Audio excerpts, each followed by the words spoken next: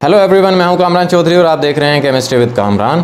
Previous lecture में हम लोग देख रहे थे theories and experiments related to structure of atom अब जिन लोगों ने आपकी क्लास नाइन के chapter number two structure of atoms के प्रीवियस लेक्चर्स नहीं देखे हुए तो आप चैनल पर जाएँगे प्लेलिस्ट मौजूद है chapter number two structure of atoms की।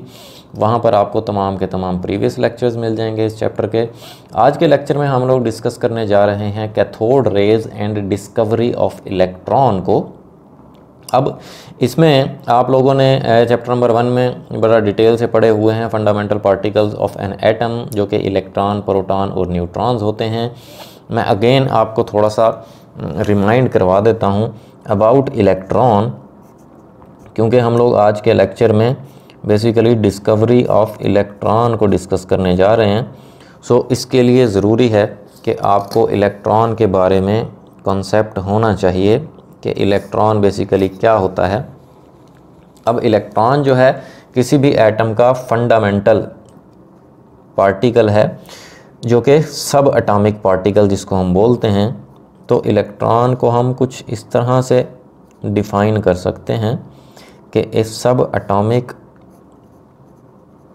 पार्टिकल के एटम का छोटा पार्ट छोटा particle with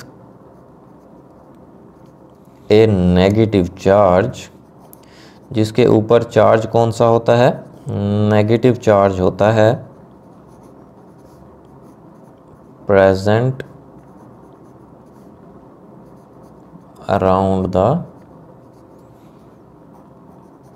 न्यूक्लियस जो कि न्यूक्लियस के बाहर पाया जाता है न्यूक्लियस के अराउंड पाया जाता है एक एटम के अंदर। ठीक है? सो ऐसे पार्टिकल को हम क्या बोलते हैं? इलेक्ट्रॉन बोलते हैं। अगर हम इसके सिंबल की बात करें, कि इलेक्ट्रॉन को बेसिकली आप रिप्रेजेंट कैसे करते हैं? So it is represented by symbol E डालकर उसके ऊपर एक इस तरह से नेगेटिव चार्ज आप शो करते हैं या इसको इस तरह से भी रिप्रेजेंट करते हैं इलेक्ट्रॉन को। ठीक है? बीटा के साइन से। सही हो गया? सो so, ये तो हो गया रिप्रेजेंटेशन ऑफ़ एन इलेक्ट्रॉन ठीक है? अब चलते हैं इसके डिस्कवरी की तरफ़। तो इसकी डिस्कवरी में सबसे पहले मैं आपको बता दूँ कि इन 1895 सर विलियम क्रुक्स, जो कि बेसिकली एक ब्रिटिश केमिस्ट एंड फिजिस्ट था। ठीक है? उसने एक एक्सपेरिमेंट परफॉर्म किया।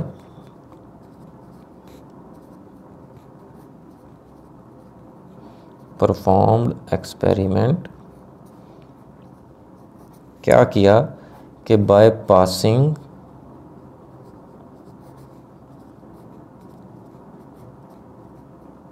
electric current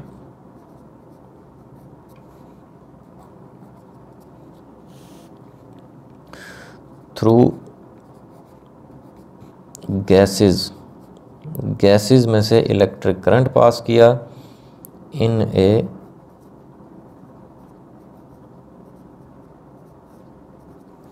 discharge tube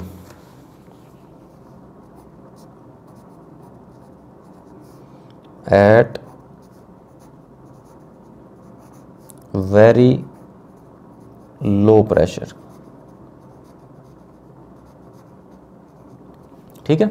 सो so, 1895 में सर विलियम क्रूक्स जो कि एक ब्रिटिश केमिस्ट और फिजिस्ट था उसने एक एक्सपेरिमेंट परफॉर्म किया। उस एक्सपेरिमेंट में क्या किया उसने? कि उसने गैसेस में से इलेक्ट्रिक करंट पास किया एक डिस्चार्ज ट्यूब के अंदर at very low pressure means कि उस डिस्चार्ज ट्यूब के जो अंदर का प्रेशर था वो क्या था? बहुत ज़्यादा कम था। अब यहाँ पर जो टर्म यूज़ हो रही है डिस्चार्ज ट्यूब इसका मैं आपको बता देता हूँ। थोड़ा सा डिस्चार्ज ट्यूब या जिसको आप C R T cathode ray tube भी बोलते हैं। ठीक है? इसका मैं आपको थोड़ा सा आइडिया दे देता हूँ कि बेसिकली ये क्या होती है। So a discharge tube is an electrical device ये एक ऐसी इलेक्ट्रिकल डिवाइस है in which current flow is by electrons and ions in an ionized gas ठीक है? डिस्चार्ज ट्यूब क्या होती है? ये एक ऐसी इलेक्ट्रिकल डिवाइस है, जिसमें बेसिकली करंट फ्लो करता है इलेक्ट्रॉन्स और आयंस की मदद से इलेक्ट्रॉन्स और आयंस की मौजूदगी में। जिसमें बेसिकली जो गैस होती है वो आयोनाइज्ड फॉर्म में होती है, ठीक है? सो ऐसी ट्यूब को बेसिकली हम लोग क्या बोलते हैं? डिस्चार्ज ट्यूब बोलते हैं या इसको, इसी को ही हम C R T cathode ray tube भी बोलते हैं, ठीक है? सो अब हम इस डिस्चार्ज ट्यूब की फिगर बना लेते हैं। फिर उसके बाद हम इस एक्सपेरिमेंट पर आएँगे कि उसने इस एक्सपेरिमेंट में किया क्या था।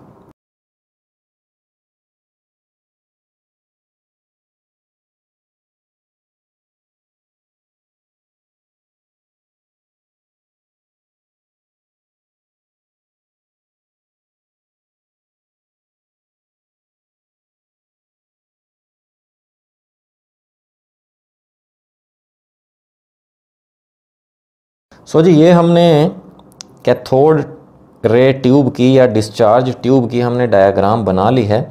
अब इस डायग्राम को मैं आपको पॉइंट्स भी लिखता जाता हूँ साथ साथ और मैं इस डायग्राम को आपको समझाता भी जाता हूँ कि बेसिकली हमने इस डायग्राम में किया क्या है और हमने करना क्या है। ठीक है? सो वो मैं आपको साथ साथ समझाता जाता हूँ। सो हम इस एक्सपेरिमेंट के देख लेते हैं पास्टूलेट्स, जिनमें हम देखते हैं कि बेसिकली सर विलियम क्रुक्स ने एक्सपेरिमेंट में किया क्या था? कैसे उसने ये एक्सपेरिमेंट्स परफॉर्म किया था? और फिर हम साथ साथ इसकी डायग्राम को भी समझते जाएँगे। ठीक है जी? सो पहला पॉइंट देख लेते हैं। उसने क्या किया कि ही टुक एक glass tube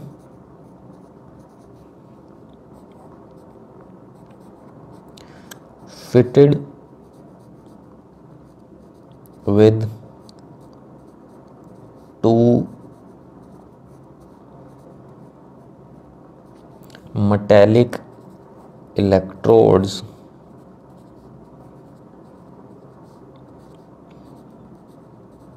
जो कि बेसिकली एनोड और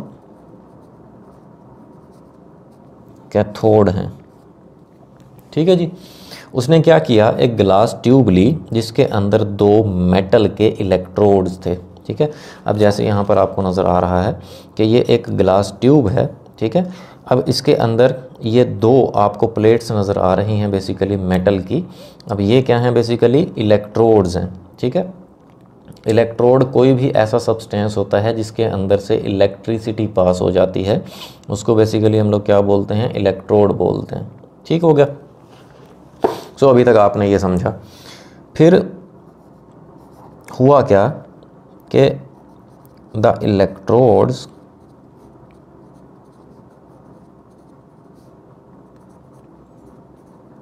were connected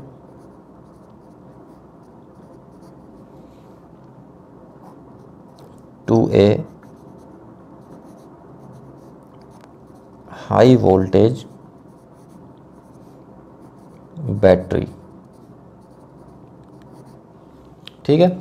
अब इलेक्ट्रोड्स को हमने क्या किया? एक हाई वोल्टेज बैटरी के साथ अटैच कर दिए जैसे आपको यहाँ से ये वायर नज़र आ रही है, ये बैटरी के पॉजिटिव टर्मिनल के साथ अटैच की और ये जो इलेक्ट्रोड था, ये इस यहाँ से हम एक वायर लेकर आए, जो कि हमने बैटरी के नेगेटिव टर्मिनल के साथ अटैच कर दी। ठीक है? अब जो इलेक्ट्रोड बैटरी के पॉजिटिव टर्मिनल के साथ अटैच हुआ, उसको हम लोग क्या बोलते हैं? एनोड बोलते हैं। उस पर कौन सा चार्ज होता है? पॉजिटिव चार्ज होता है। क्योंकि वो बैटरी के पॉजिटिव टर्मिनल के साथ अटैच है। इसी तरह से जो इलेक्ट्रोड हम बैटरी के नेगेटिव टर्मिनल के साथ अटैच करते हैं, वो क्या होता है? कैथोड होता है, उस पर नेगेटिव चार्ज होता है। ठीक है? सो यहाँ तक आपको समझ आ गई होगी। फिर क्या हुआ कि the pressure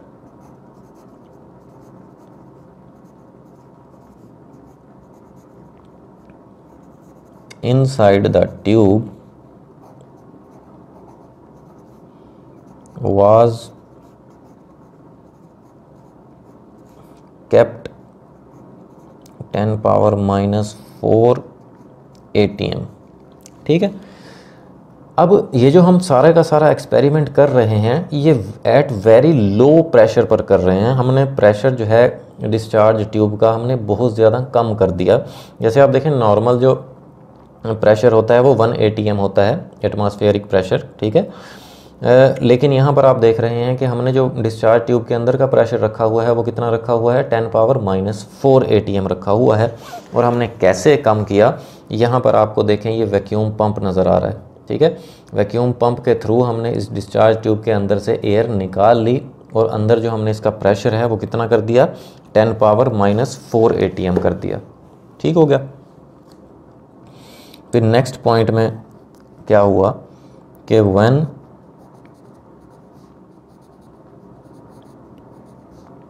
high voltage current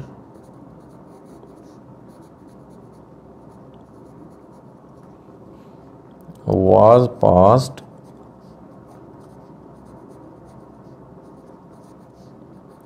through the gas.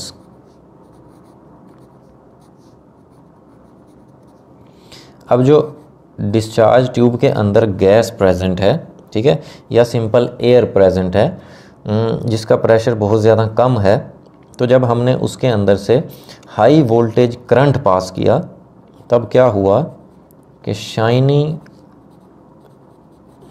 rays were emitted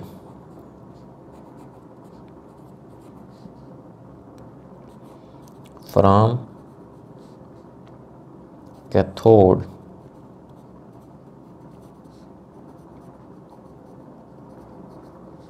which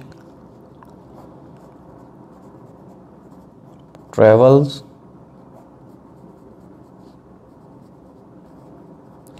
towards the anode फिर क्या हुआ कि कैथोड से शाइनी रेज एमिट हुई, निकली, जो कि कैथोड से एनोड की तरफ़ ट्रैवल करती हुई नज़र आई। जैसा कि आपको यहाँ पर नज़र आ रहा है कि ये कैथोड है। अब यहाँ पर कैथोड से एनोड की तरफ़ मैंने यहाँ पर एरो लगाए हुए हैं। तो इसका मतलब ये है कि जो शाइनी रेज़ हैं, ये जो प्रोड्यूस हो रही हैं तो वो ट्रैवल कहाँ से कहाँ कर रही हैं? कैथोड से एनोड की तरफ़ ट्रैवल कर रही हैं। फिर हमने इन रेज़ को, जो फिफ्थ पॉइंट है, कि these rays were given the name of cathode rays as they were originated from cathode, ठीक है? सो ये जो शाइनी रेज थी, जो कि कैथोड से एनोड की तरफ़ ट्रेवल कर रही थी, इन रेज को हमने फिर क्या नाम दिया? कैथोड रेज का। क्यों नाम दिया कैथोड रेज का? क्योंकि ये कैथोड से निकल रही थी, कैथोड से ओरिजिनेट हो रही थी, ठीक है? कैथोड से एनोड की तरफ़ ट्रेवल कर रही थी, ठीक है जी? और हमने ये पाया कि इन कैथोड रेज पर क्या होता है? नेगेटिव चार्ज होता है, जो बेसिकली इलेक्ट्रॉन्स ही होते हैं। ठीक हो गया जी।